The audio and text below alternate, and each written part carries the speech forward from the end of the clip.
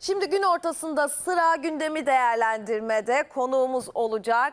Her zaman olduğu gibi Haldun Domaç ve bu sefer başka bir arka plan görüyorum. Bir Aa, bir kitapçıdasın Haldun Domaç. Hoş Evet. geldin.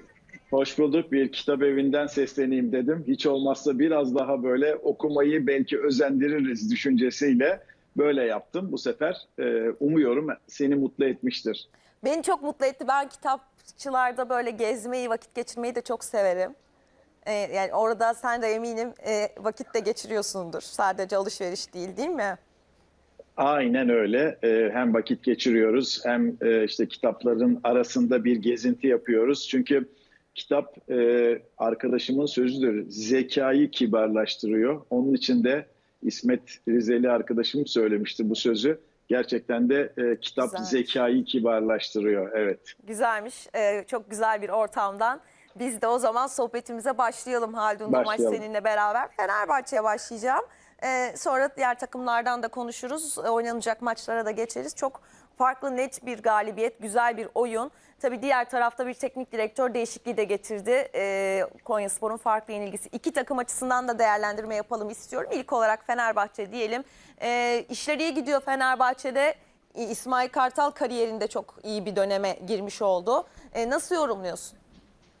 E, Gerçekten işlerin çok iyi gittiğini söyleyebiliriz Fenerbahçe'de. Yani özellikle ön alan oyuncularının performansları mükemmel. Yani belki gol atanlar e, öne çıkıyor maç maç. Daha önce Cengiz öne çıkmıştı ama öyle bakmamamız lazım. Genel anlamda bakmak lazım. Mesela bu maçta Şimanski, Ceko daha önde oynayan oyuncular, daha etkin oyunculardı. Böyle bakmamız lazım. Sonuç itibariyle şunu söyleyelim. Zaten e, Ceko'nun da bir sözü var. Diyor ki önde sorunumuz yok. Gol atıyoruz ama arka tarafı da toparlamamız lazım.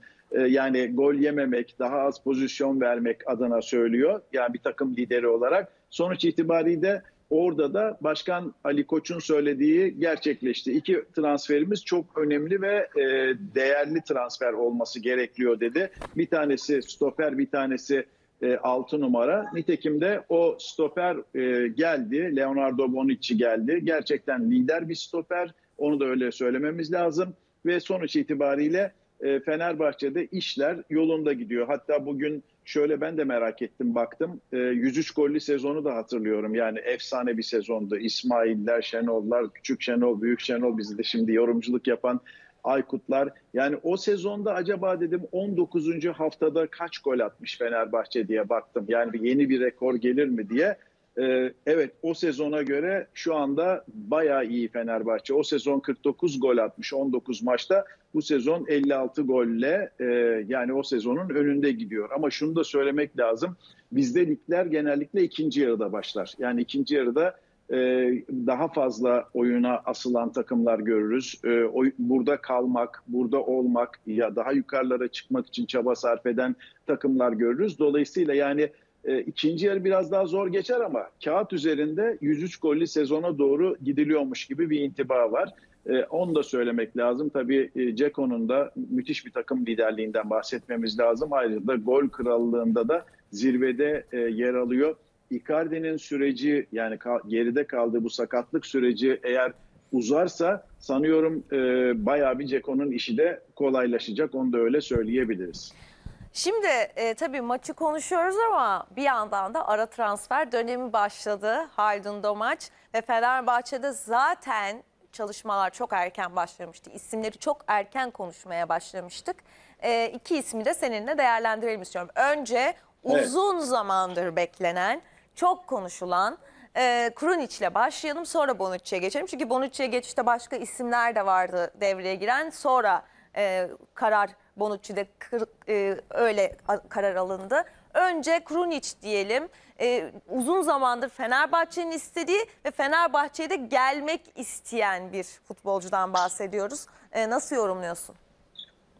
E, zaten şöyle bir şey, e, dün akşamki maçta da kadroda yoktu. Yani Kurunic ile Milan'ın arasındaki ipler zaten kopmuştu, onu söyleyebiliriz. Kurunic de çok kararlı bir tavır sergiledi. Özellikle e, Ceko ile birlikte oynamak, ona verdiği sözü yerine getirmek adına da çok ciddi bir şekilde e, kararlı tavır sergiledi. Şimdi o kararlı tavrı e, sonrasında da e, artık e, aradaki fark kapandı. Biliyorsun e, mutlaka sen gayet net bir şekilde takip ediyorsun. 7 milyon euro istiyordu e, Milan. Fenerbahçe 4 milyon eurodaydı. E, bir şekilde gelen ilk haberler tabii kap bildiriminden sonra daha sağlıklı olacak. Hafta sonu da İstanbul'a bekliyoruz. E, kap bildiriminden sonra belli olacak o rakamların 5 milyon artı ya da tamamı 5 milyon bonuslarla olabilecek bir rakam olduğu söylenebilir. Çünkü transferin bittiğini Milan sportif direktörünün sözlerinden de anladık. Artık o da evet Fenerbahçe ile e, her konuda anlaştık dediğine göre bu transferde bir şekilde bitmiş oldu. E, zaten başkanın bir sözü vardı. Hatırlarsan bir açıklama yapmıştı ve o açıklamasında dedi ki Kurunic bize yazdan kalma bir sevda demişti. Yani tabii tam böyle söylemedi de yazdan kalma bir konu dedi. E, ve biz onu bitirmek için büyük çaba sarf ediyorduk ve bu noktaya geldik bitirme noktasına demişti. E, arada fark var Milan'la o fark kapanmış anlaşılan. Şimdi stoper bölgesinde de Bonucci e, oldu. Tabii bu e, olay biraz daha ya şu iddia da var. Bonucci'nin yanına bir e, stoper daha olabilir. Ben e, o konunun biraz e, eğer böyle bir şey söz konusu olacaksa 9 Şubat'a doğru daha ileri ileri bir tarihlemeyle olabileceğini düşünüyorum. Çünkü Bekao'nun dönüşü beklenecek. Ciku'nun Afrika Kupası'nda oynayacağı maç sayısına bakılacak ki Samet Akaydın konusunda artık çok e, güncellendi olay, çok netleşti. Sam, e, Fatih Terim'in e, sto, e, sportif direktörümüzü gönderdik, pazarlık yaptık, cevap bekliyoruz noktasına geldiğine göre oynamayan bir Samet'in gideceğini de düşünürsek elde kalan oyuncularda şöyle değerlendirebiliriz.